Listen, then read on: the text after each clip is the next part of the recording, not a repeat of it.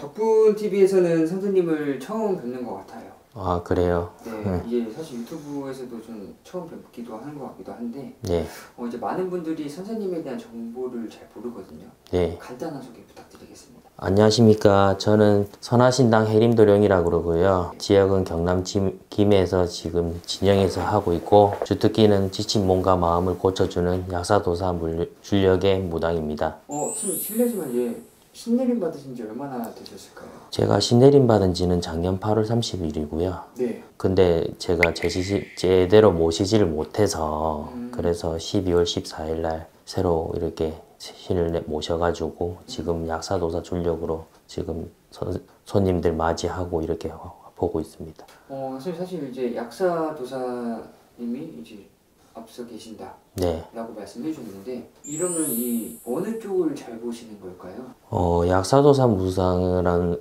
무당이란 그 사람 몸과 마음 요즘에 코로나 시국에 많이 어렵잖아요. 네. 그러다 보니까 뭐 삶에 힘들어 하시는 분들이 되게 많고 그리고 이혼 문제 그리고 금전적인 문제 그런 분들을 주로 오십니다. 사실 이 촬영 전에 제, 제 손에 맥을 한번 짚어 주셨거든요. 네. 이제 거기서 이제 저도 깜짝 놀란 게 제가 제 소화기관이 진짜 안 좋거든요. 네. 바로 소화가 안 된다. 네. 스트레스를 많이 받는다. 네. 이걸 바로 말씀해 주셔가지고 저도 깜짝 놀랐어요. 네. 약간 이런 식으로 점사를 봐주신다는 거죠. 네, 그런 식으로 해서 점사를 많이 봐드리고요. 그리고 저는 사주를 보질 않습니다. 사주 보지 않고 그 사람 눈을 통해서 그 마음을 읽어서 그렇게 점사를 많이 보는 편이고요. 그렇게 해서 저는 사람 마음을 많이 읽어주는 무당이고, 솔직히 뭐, 다르게 뭐, 신년 운세라든지 그런 것도 잘 봐드리기는 하는데, 그 주로 주력은 그냥 이제 아프신 분, 마음 고치신 분, 그런 것들 많이 주로 많이 봐드리고 그러겁니다. 아까 이제 약사도사님이 앞서 계시는다고 하셨는데 네. 어 이제 어떤 최근에 어떤 분들이 좀 찾아왔을까요? 또 성부를 어떻게 좀 보셨을까? 어, 저희 집은 친한 친구에게조차도 말 못하는 그런 고민들 있지 않습니까? 그런 건 제 3자가 들어줘야 되는 건데, 그런 거를 많이 들어드리고, 그런 사연들 많이 들어서, 마음, 여기 오셔서 마음 다 털고 힘낼 수 있게 도와드리는 무- 그런 무당이고, 힘든 마음을 많이 알아줘서 삶의 용기와 희망을 주는 무당이라고 생각합니다. 이제 사실 이제 신내림 받으신 지 이제 1년이 안 됐는데 네, 이제 앞으로 쭉 무속인의 길을 가셔야 되잖아요. 네, 맞잖아요. 좀 어떠한 무속인이 되고 싶으세요? 어, 저는 솔직히 우울증 20년, 그리고 공황장애 3년을 앓고, 그리고 신내림 받기 전에 6개월 누워 있었어요. 왜 누워? 그러니까 신병으로 많이 이렇게 고생을 많이 했던 적이었고요. 네. 그리고 저 같은 경우에는 삶에 있어서 너무 고락도 많았고, 그리고 금전적으로도 많이 문제가 있었고, 그리고 하루에 아무 생각 안 하려고 잠을 두시간씩 자면서 일을 한 적도 많았고, 그렇게 해서 좀 이 신병을 좀 이겨내고자 노력을 많이 했었는데, 이게 아무래도 신병은 어쩔 수가 없는 거더라고요. 그러다 보니까 저 나름대로도 어떻게 극복을 하려고 노력했지만 안 되는 부분이었고, 그래서 어떻게든지 여러 선생님 무속인들을 막 찾아보다가 지금의 저희 신엄마를 만나서 무속인이 되었고 저희 신엄마가 되게 고마운 부분이 제가 죽으려고 딴짓을 할까봐 그런 게 보였나 봐요. 그래서 저희 신엄마가 그때 자주 문자도 보내주고 안보도 여쭤주고 그렇게 해서 지금까지 제가 무속인이 될 수 있게 열심히 해주신 분이고 그래서 그 몸, 그- 그만큼 많이 고마우신 분이고 그리고 저희 신엄마랑 평생 이제 계속 인연을 맺어갈 예정입니다. 음, 이제 또 앞으로 이 영상을 보시고 네. 많은 분들이 좀 찾아오시고 좀 도움을 요청하시는 분들도 많을 것 같아요. 네. 좀 어떻게 좀 도움을 주실 생각이실까요? 대부분 오신 분들 중에 우울증 가지신 분들 많고요. 그리고 대부분 부부관계 문제라든지 요즘에 코로나 시국이다 보니까 마음 지치신 분 그런 분들이 되게 많이 오시는데 그런 부분에 대해서 제가 마음을 많이 알아드리고 그 마음 알아줘서 조금이라도 삶의 용기와 희망을 줄 수 있는 게 저의 주특기라고 생각을 합니다. 지금 덕분 TV를 통해서 이렇게 제가 지금 저의 PR을 하고 있는데요. 어, 저희 덕분 TV도 잘 됐으면 좋겠고 그리고 저희 선화신당 해림도령 김해 경남 김해 진영에 있고요. 그리고 많은 분들이 오셔서 힘든 시국 코로나 시국에 좀 힘든 마음이나 이 힘든 몸 지친 몸들 여기 와서 많이 속풀이 하시고 그렇게 해서 제가 많이 도움을 드리고 그렇게 하셔서 좀 삶의 희망이라도 많이 가지게 해- 할 수 있는 그런 무당이 되고 싶고요. 그리고 제 인스타 선화신당 해림 검색 해림 서- 선화신당 해림 도련 검색하시면 거기에 제 자세한 속마음이라든지 그런 게 나와 있으니까 그런 것도 참고 좀 해주시면 감사하겠습니다. 이제 나이도 먹었는데 건강 좀 미리 알고 조심할 수 없을까? 해결했어. 해결했어. 해결했어. 해결했어. 도대체 어떻게 해결했다는 거야?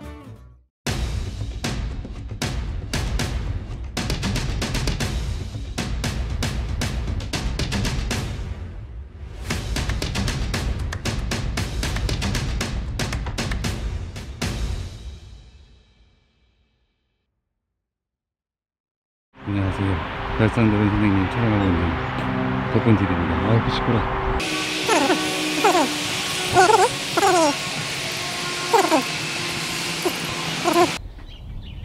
별산도령 경신상로 127-5 구독자분들 주소 바뀌었으니까 참고해주세요. 안녕. 너희 이름 뭐니? 되게 이 유명한 강아지네. 시골우 자부종. 아이고, 아이고, 아이고, 귀여워. 강아지 두 마리 있네. 아, 여기는 벙커이거든, 벙커. 비닐하우스. 강아지들.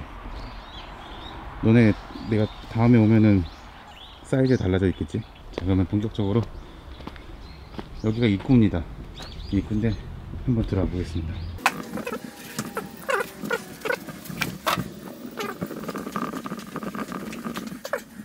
선생님 안녕하세요. 네, 누구세요?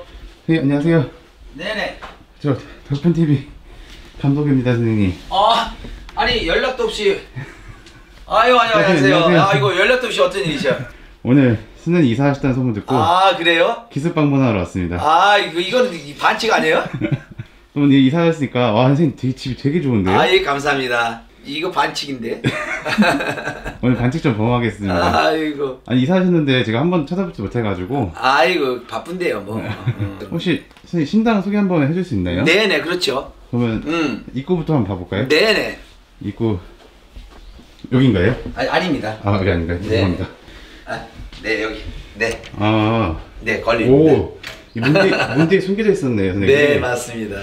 요거는 어떤 걸 뜻하는 건가요, 선생님? 아, 건립이라는 것은 네. 제자한테 굉장히 또 중요한 자리고요. 또 저희가 이제 밖에 나가다가 들어오면 건립할아버지 다녀왔습니다. 음. 또 뒤따라 연달아 우리 손님들 들게 해주십시오. 그리고 이제 저희가 이제 보고 오고 들어나가니까 이- 그러니까는 이 아파트가 따지면 경비실 같은 거죠. 음. 음, 여기서 이제 건립 할아버지가 손님을 이제 뒤로 놓아주고 또 음. 해주는 중요한 역할을 하는데 제자가 항상 어, 예를 갖춰야 되는 그런 어, 자리죠. 요, 요거, 요거는 뭐예요? 아, 요건 그냥 뭐 오면서 요 신발장 위에다가 그냥 어, 아무 의미 없다. 네 맞습니다. 너무 그냥 밋밋하니까 어. 아, 너무 지저분한데 아니 미래도 예고했으면 좀 치워놔야 되는데 막 너무 지저분한데요. 아, 이사하신 지 얼마 안 되셨으니까. 예 맞습니다. 아직까지 막 정리가 잘 안 돼서 이거 술 되게 많네요, 선생님. 우리 이제 할아버지들이 드- 드시는 양주인데 네. 예, 오래된 거는 그냥 그걸 빼놓고요. 음. 또 이제 최근 거는 좀 어, 안에다가 어, 모셔놓고 요거 지금 발렌타인인데, 네. 오. 비싼 거 비싼 아닌가? 술저 안에 있는데요. 어, 저 안에 있나요? 네. 그럼 이제 신당을 한번 네네. 찍어도 되나요, 선생님? 예, 그럼요. 네. 엄청, 원래도 좀 크셨는데, 화려하시고 네네네. 하셨는데, 더 이렇게 화려해지신 것. 같아요. 제가 이제 이 활용을 굉장히 좋아해서 음. 아 그때 이제 공간이 좀 여의치 못해서 네. 이렇게 이제 화려하게 못했지만 이제 내 집을 짓고 보니까 이제 내 맘대로 그냥 펼쳐놔봤습니다. 음. 네, 네, 여기. 여기 선생님 점상이시죠? 맞습니다. 오. 특이점 발견했어요. 선생님. 네? 특이점 발견했어요. 네네. 원래 신복은 굿당에만 있는 거 아닌가요? 지금 여기 어. 신복이 이렇게 걸려져 있는데 네네. 저희는 여기서 또 중요한 행사를 여기서 합니다. 할아버지 앞에서. 아, 전만 보는 게 아니고 네, 네 여기서도 이제 어려운 일들 같은 거 좀 그런 거 힘든 일들 밑에 내려가서 하고요. 음, 예, 1층에서 하고 또 이제 좋은 일 할아버지 앞에서 이제 뭐 제수굿이나 뭐 운맞이 이런 것은 어, 이 지금 신당에서 어, 하고 있습니다. 그래서 어, 여기서 어, 필요로 하는 우리 이제 신복들을 제가 여기다 그냥 비치해놨습니다. 지금 이제 아, 이거를 굉장히 좋아해서 열 번이면 여덟 번이면 어, 이걸 입고 타는 것 같아요. 음. 그러니까 붉은 계통을 좋아하는 것 같습니다. 제자분들이 보면 붉은 계통을 좋아하지 않나요? 선생님 지금 의상도 붉은색이신데. 네, 젊어 보이고 싶어서 그래요. 선생님 그 여기 그 굿당 한번 소개해 주실 수 있으세요? 네, 그러면요. 예, 밑에 네. 어, 예. 이거 신으세요. 아, 네, 감사합니다. 네. 제 발까지 챙겨주시고.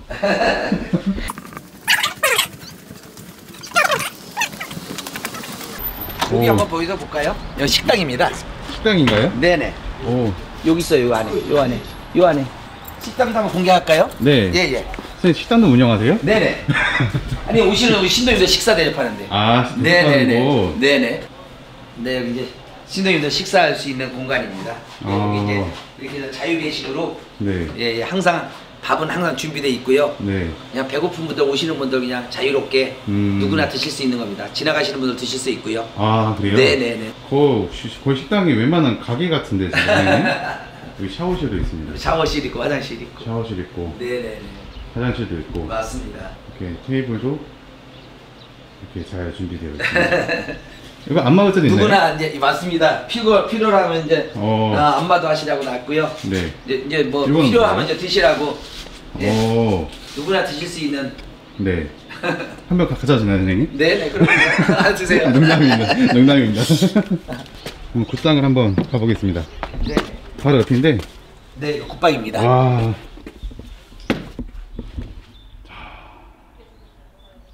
엄청 크네요, 선생님, 진짜. 네, 네. 웬만한 굿당 특실보다 큰 것 같아요. 맞아 큽니다. 와. 네 대형광이고요. 여기 보시면은 네. 이렇게 신당에 있는 신복이랑 여기 있는 신복은 다른 건가요? 네 맞습니다. 어, 어떤 게 달라요? 아 거기는 이제 어, 한양거리를 할 수 있는 신복이고요. 음. 네, 여기 있는 신복은 이북거리를 할 수 있는 신복입니다. 어. 네네. 그래서 이 지금 어, 또 어, 이북 분들이 아, 환이라 그러죠 환. 예, 그래서 이제 걸어놓은 거고요. 음. 예, 다 신령들이 여기 다 계시죠. 음. 예, 그 아까 법당에는 탱하에대 계셨고요. 음. 또 이북꽃 하면 빠질 수 없는 게 이 환이잖아요. 맞습니다. 이거 이게 개인이 그린 건데요. 이거 이- 지금 이제 이 제자님 어, 자손이 다 이제 그린 겁니다. 아. 네네네. 이 지금 이 주, 그림의 주인공이 지금 덕분에 지금 촬영하고 계시는 분인데. 그리신 분이요? 음. 어느 분이에요? 그 저기 계시라고 부산에서 올라오는. 아. 어, 그 그림이에요. 고봉하시 선생님. 네 맞아요. 아. 음, 그분이 그림은 이, 이 탱화를 잘이 그림 손제 손재주가 굉장히 많습니다. 선생님 그 궁금한 게 하나 있는데. 네. 그럼 선생님은 한양꽃 거리도 하시고. 양거리 다 합니다. 아, 다 네, 하시는 네, 거예요? 네. 양거리 다 하시는 분 처음 본 것 같은데. 그래요? 네. 아니 이, 개 중에 계세요. 아, 그래요? 아직 제가 못 봤나 아, 보다. 저는 이제 이남 성수, 이북 성수 다 계셔서 네. 야, 양, 양쪽을 놓고 다 합니다. 이남, 이북, 이북 굿을 섞어서 네. 같이 하고 있습니다. 어, 선생님 이 한양거리를 하실 때는 음. 그래도 여기 그 땅을 사용하시는 거예요? 아니 이제 그건 아니고요. 이제 일에 따라서 아까 말씀드린 좀저 깨끗하고 이제 뭐 운맞이라든지 제수국 같은 건 위에서 하고요. 음. 좀뭐 진흙이라든지 뭐 조상국 같은 건 좀저 힘든 굿은 여기 밑으로 내려와서 하고요. 아. 네, 왜냐면 할아버지 앞에서 좀 하기가 좀 부끄러우니까 이제 그런 거는 좀 어려우니까 네. 또 울고 또 이렇게 이제 하는 것들은 좀 그래서 그렇고 웃고 이제 재수 있게 이제 기분 좋게 하는 굿은 위에서 하고 그렇습니다. 어.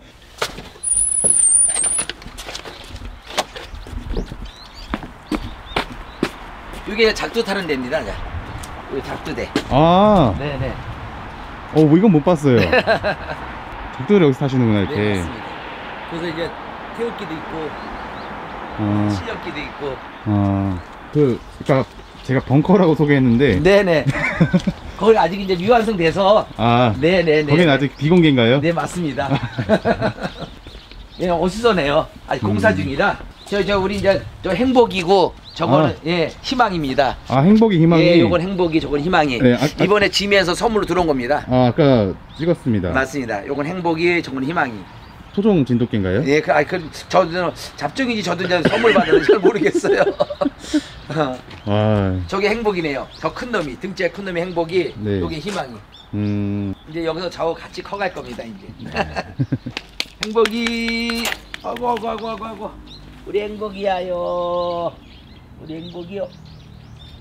우리 행복이 착하게 생겼죠? 네. 우리 행복이, 희망이. 행복이 희망이 행복이 희망이 행복 희망 행복 희망 올라가실까요? 아, 네. 네네.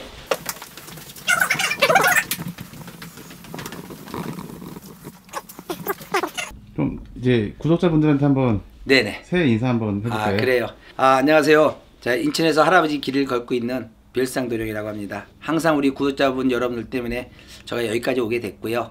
아무튼 우리 이제 구독자님 여러분들 새해 또 복 많이 받으시고요. 흑 호랑이 해에 아무쪼록 아, 호랑이 기운 받아서 모든 그 가정에 대박 나시고요. 아, 힘들었던 그 코로나가 아, 빨리 아, 소멸돼서 어, 이제 행복한 그런 삶을 모든 이가 살아갔으면 좋겠다는 생각 들고요. 조금 더 된다면은 이제 아, 별성도령이 이제는 경신굿당이라는 이제 아, 또 상호를 하나 더 갖고 제자만이 할 수 있는 공간이 아니라 우리 신도인들과 우리 이제 제자님들과 같이 이제 공유할 수 있는 그런 장소를 제가 이제 준비를 했으니 관심 많이 부탁드리고요. 또 별상도령 아, 우리 구독자 여러분들 항상 제 기도 많이 하고요. 구독, 좋아요 많이 눌러주십시오. 네, 고맙습니다. 새해 복 많이 받으세요. 네, 고맙습니다. 새해 복 많이 받으시죠, 우리 피디님도.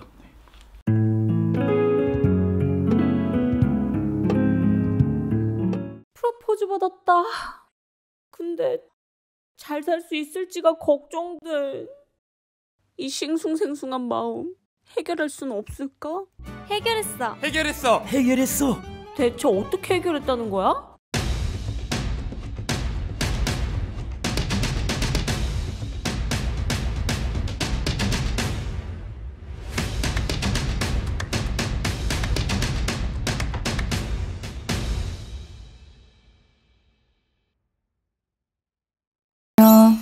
반갑습니다, 선생님. 네, 반가워요. 영혼, 영혼 없는 말투. 진짜 반가우세요? 네네, 반가워요. 영상이 이제 처음 나온 영상이에요. 네. 소개 영상인데 어, 간단하게 선생님 소개를 좀 부탁드릴게요. 네, 안녕하세요. 저는 인천 부평에서 신을 모신 지 1년 채 안 된 청무신녀라고 합니다. 청구신녀 선생님, 저는 이- 유튜브에서 몇 번 뵀었어요. 보지 마세요. 알고리즘이 뜨더라고요. 아니요, 아니요. 보지 마세요. 어, 왜? 이거 선생님 개인 채널은 봐야 되는데 아, 안 보려고요, 최대한. 어, 우리 선생님께서는 이제 애동 전 제자 선생님이시니까 네. 그 과정들을 또 제가 안 여쭤볼 수가 없어요. 네, 네. 어쩌다가 이렇게 받게 되셨는지. 근데 솔직히 막 영상 같은 데 보면은 어쩌다가 받게 되셨나요? 막 이러면은 뭐 어릴 때 이랬고 뭐 저랬고 뭐 이렇게 얘기하잖아요. 저도 똑같아요. 그냥 신병 앓는 사람들은 뭐 집이 친다든지 풍미박산이 난다든지 몸이 아프다든지 하는 일이 다 막히고 금전이 바닥을 치고 사람 관계 다 끊기고 저도 똑같았어요. 그러니까 철저히 외톨이가 됐어요. 그 상태에서 이제 뭐 엄마 아프고 아빠 아프고 뭐 오빠 일 터지고 이러다 보니까는 솔직히 알고 있었거든요. 어떤 걸요? 받아야 된다는 거를 여러 군데 많이 갔었어요. 아, 전체. 20대 초반부터 많이 네. 갔었는데 그냥 안일하게 생각을 했거든요.